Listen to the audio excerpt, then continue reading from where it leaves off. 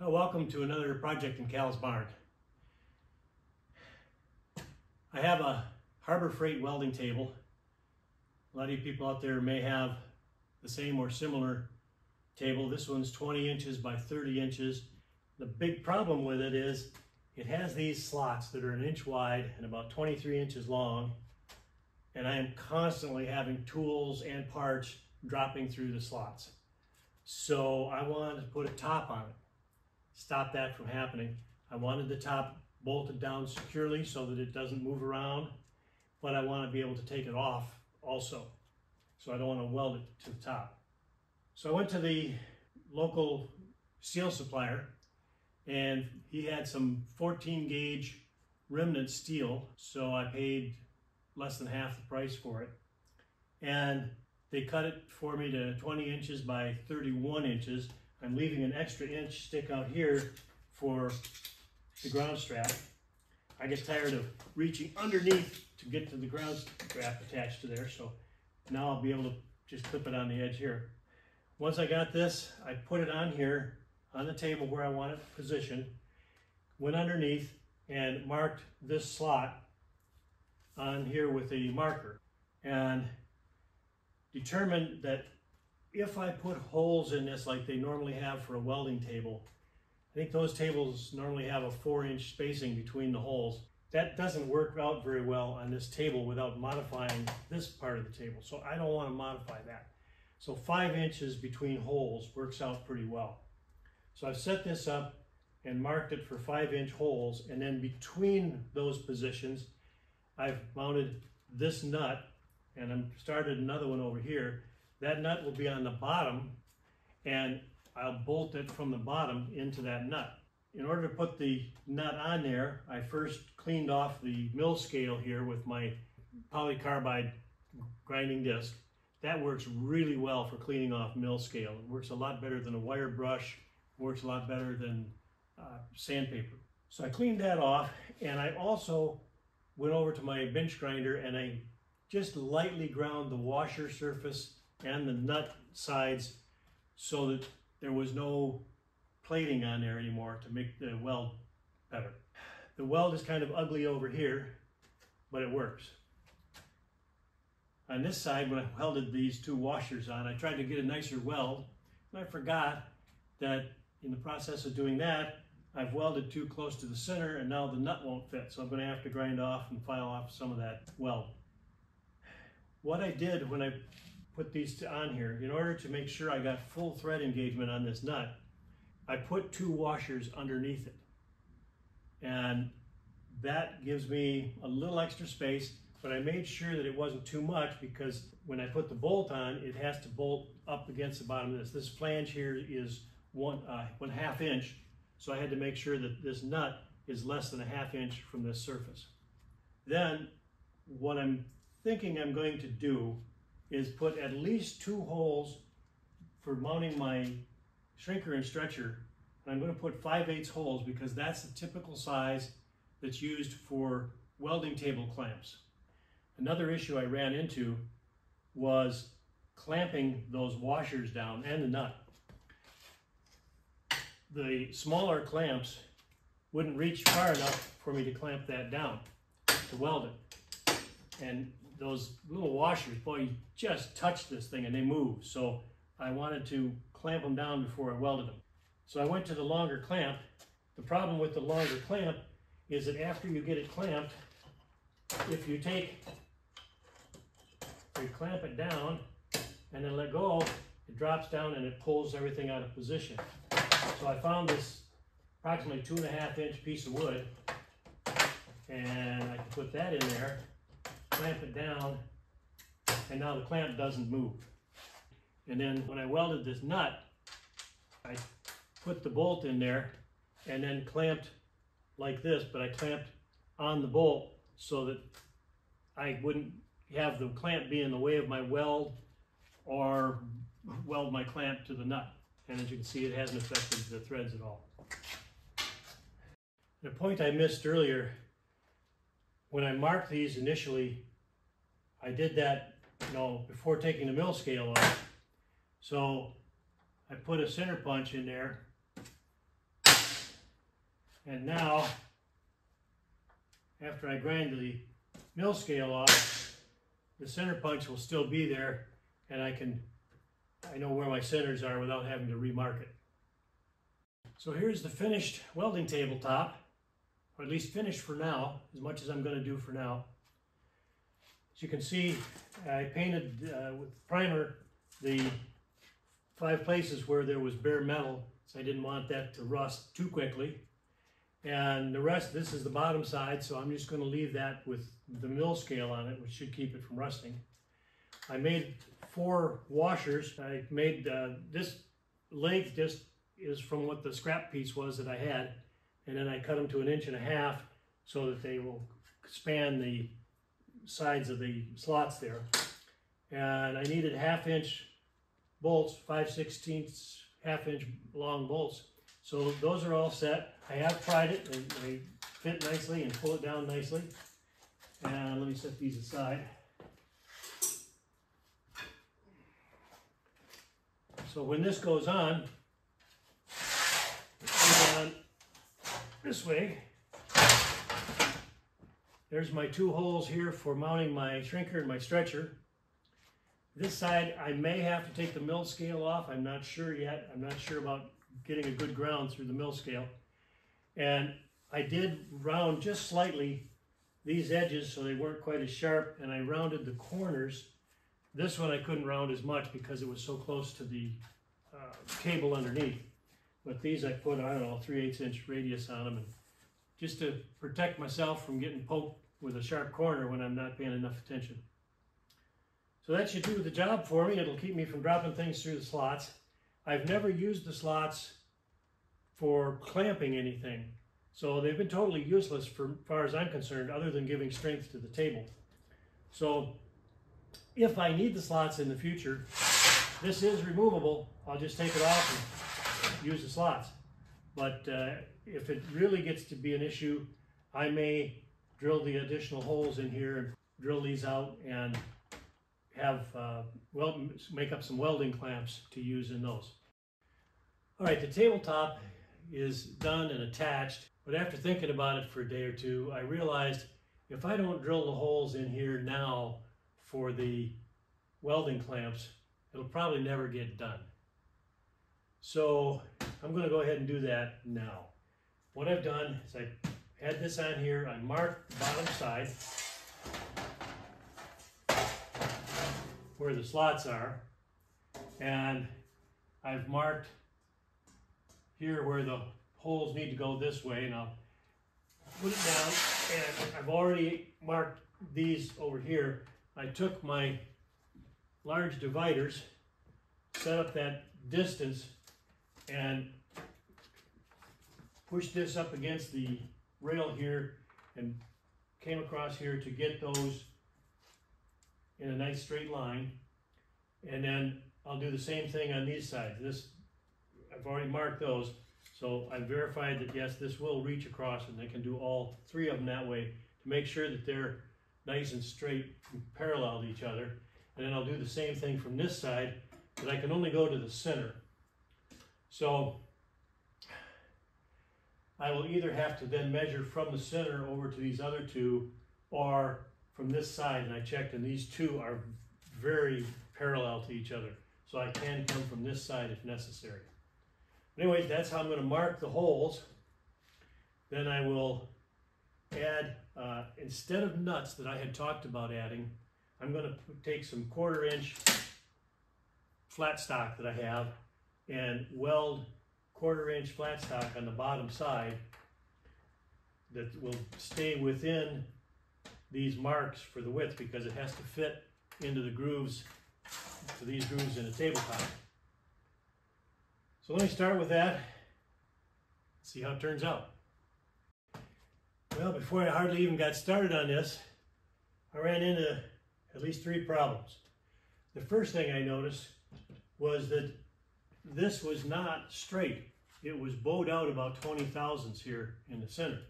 So I straightened that out. Still not sure I like that even by itself. This one was also bent about 20 thousandths. I, I presume that when they bend this, somehow it warps that slightly. But also, these two are not square. So I noticed that from this piece of metal that they cut at the metal supplier, and they did a pretty darn good job of keeping everything square there. So I put my rafter square up here, and that confirms that these are not square. So when I mark these, I'm going to have to, I can now use this side, and I'll double check my set, my marks here. But I may end up even putting this down here and running from this edge. And similarly over here, I'm going to have to, yep, there's enough room. I'm going to have to run it this way, keep this up tight against here, and measure then from this edge over. That'll keep everything nice and square. It's not a big deal if all you're doing is clamping, but if you want to use these holes for positioning things, which sometimes they do as well, I don't know if I ever will, but I'm going to set them up that way just in case. Never know what I'm going to run into in the future. The other thing I realized is I'm marking on the wrong side. Definitely, that's the way it's going to have to be. Turn it this way, get the center of that hole, come across. Same thing with this one, and then halfway between them should be the holes uh, in the middle. So a few corrections even before I get started. And here's a tip for those of you who are getting older like I am. When I'm center punching this, I found that actually putting on a second pair of, in this case, reading glasses, and using a flashlight, I can get a much better center on there. Much easier to get that correct when I was just using my regular glasses and no extra light.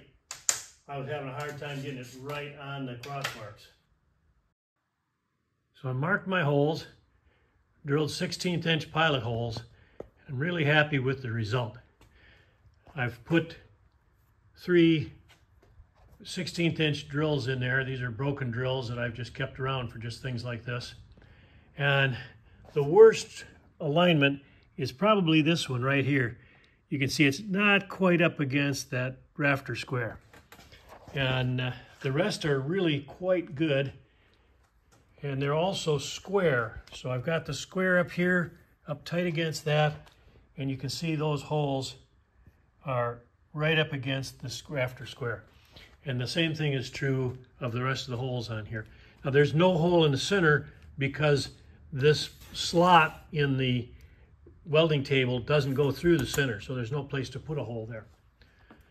Anyways, very happy with that so far. It's pretty good considering I did it by hand after I got all my holes drilled, I decided that I wanted to square this side up. So I checked and it was about 40 thousandths out at this end. So I took a piece of 20 gauge uh, steel and simply made a crude washer to fit under there. And we may be a couple thousandths out now, but it's much closer than it was. And for what I'm doing here, I think it should be plenty close enough. So I cut these four pieces out that will weld on the bottom side of this for these outer four holes. And when I did that, I realized I don't have enough flat stock to do all of these holes. And what I'm going to do is I'm going to buy some one inch by quarter and I'm going to put longer pieces on here on these two and on this. So, so that'll be one, two, three, four long pieces. The only reason I'm going to put long pieces on is I'm not sure how much support these clamps are going to need. With this relatively thin top cover, I'm not sure if putting a clamp on here is going to want to twist these outer ones. But I can't go longer on the outer ones because the attaching nuts that attach this top table to the original welding table are right here. So I can only put relatively short ones on these, and I'll put longer ones on the ones where I don't have to get uh, interference from the attaching nuts. All right, I went out and I got a four foot piece of quarter inch by one inch flat stock, cut that to two long pieces for these, two shorter pieces for these here. And I've got the four pieces for these corners. One thing I had to do with those, these have 16th inch holes in them, uh, just for alignment. And these had 7 16 holes in them already. So I had to drill these out to 7 16 so that I can position them squarely over that hole for drilling out to 5 8 So that was one mistake I made was drilling those larger holes in the first place. But then I'm thinking, how do I weld these on and get them exactly in the right spot? Then I realized, well, I could flip the table over. So to do that, I attached this on it. Then I was going to flip it over and just set these between the slots on the original table. Problem is, I did that and then realized I can't take the top off until I undo the screws that hold the, the main table down to the crossbars underneath. So I had to take it all back off again, take the four screws out that hold the main table down, and then reattach this piece up snug to these uh, edge pieces. So now I'm going to flip that over.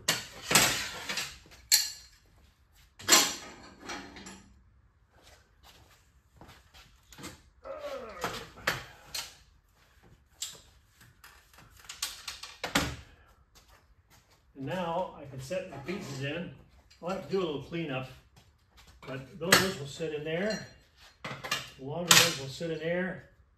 I may have to take these off one at a time to access it for welding because these are fairly long. They, they my big washers get in the way. But that'll work, and that way I will be certain that these pieces fit within the slots and I will just weld the ends. So I should be all set to weld. I get a little cleanup and weld it and it'll be good to go. My quarter inch thick strips are now welded in. Definitely need to be clamped. This one, I welded these two before taking this out and I did not clamp it. As a result, this end lifted up and I had to clamp it down. It took a lot of force to clamp the thing down enough to uh, make that weld. And the rest of these went pretty well because I clamped them all. They should be pretty thoroughly connected now. I did take off one at a time these attachment washers to hold the top and the, and the new top and the original welding table together. I didn't want it to move, so I made sure I never took more than one off. Put the other one on before I take a, another one off. So that's all set. I'm, this hole lined up well. I used a bolt with a a thread that just barely fits in there. In fact, it doesn't actually go down all the way. And that lined it up very nicely so I can finish drilling that out. And that's going to be my next step. Drill all of these holes out and clean things up before I paint it. I made a mistake. When I drilled these holes, I had not welded these centers of these two long strips down. And the result was that when I drilled through, it pushed through and I had burrs and pieces of metal caught between the sheet metal and this piece. So if you do it, figure out where your holes are and tack weld it. After I tack welded it, I had to come out and take my grinder and take a little bit of that weld off to make sure it fit in the slot without hitting anything. But tack weld that down so that those don't separate when you do the drilling. Well, this welding tabletop is done. I did have a problem. I tried to drill pilot holes in through the quarter inch material with a 16th inch drill. That was a big mistake because I broke one of them off and had a terrible time then drilling around that, trying to get that out and then get that hole centered again. I got it pretty well centered. I, I think we're okay. But it, I'll bet I wasted an hour at least trying to fix that problem. So use a 330 seconds drill. That, that seemed to be fine. The other issue I had, I drilled out the 5 8 holes. I drilled them, drilled them out to half inch, and then I used a step drill to get up to 5 8 of an inch. And I had to come in from both sides because the steps on the step drill aren't that long. So I had to come in from both sides. Well, it didn't match up perfectly and I ended up putting a small grinding wheel on my drill and deburring it basically, taking that little step in the middle out until the 5 8 would drop through there. So that is all set. I did try this out on the end here where the I've the smallest or this corner where I have the small pieces and I was concerned that it would warp the metal but that's fairly tight and there's no warpage that I can see. So I think we're good on that. The other thing we did is I painted the backside. I used some engine paint that I had left over. It's good for 500 degrees and I figured since I'm welding on this, it might get hot, but I don't think it's ever gonna hit 500 degrees. It's not the plan anyways. I just didn't want it rusting because this is plain steel. The other thing I did was I put some masking tape down here and I left this lip that hangs over for grounding. I left that unpainted. Uh, the top isn't going to be painted, but I left the bottom unpainted too there. So we're all done. As you can see, it's a nicer day out. I've opened the garage doors there, got a little breeze coming through here today. That's kind of nice. Anyways, hopefully you guys uh, got some ideas from this. Can fix up your own welding tables, make them a little better. And the pros probably won't consider this good enough, but uh, for us homeowners, this will do the job for me. So please, like it, subscribe, leave comments, positive or negative. I'd like to hear from you, and thanks for watching.